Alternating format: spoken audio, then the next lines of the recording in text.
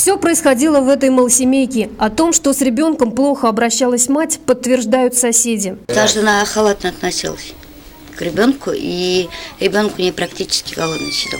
Она неопрятная. Ну, а как мать? И как мать она не мать.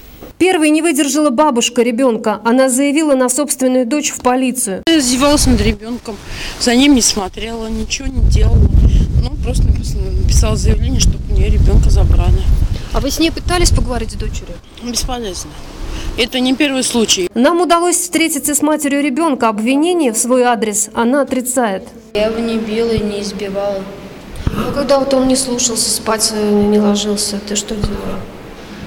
Я с ним уже поговорил, ну, разговаривала, игралась, а потом он уже сам укладывался. То есть руку ты на него не поднимала? Не поднимала. Вместе с тем, следствие привело достаточно доказательств, что женщина избивала ребенка. Некоторые соседи видели, как она наносила телесные повреждения ребенку, то есть э, давала подзатыльники. Э, были факты, то, что даже пенал в области ягодиц.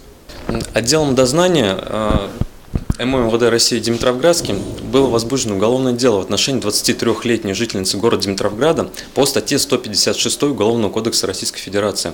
Санкции статьи предусматривают наказание до трех лет лишения свободы. Малыш сейчас находится в безопасности. В свою семью его взял родной дядя. У мальчика было на днях день рождения, ему исполнилось два года. Мама не поздравила. Она находится на восьмом месяце беременности. Теперь она ждет дочь.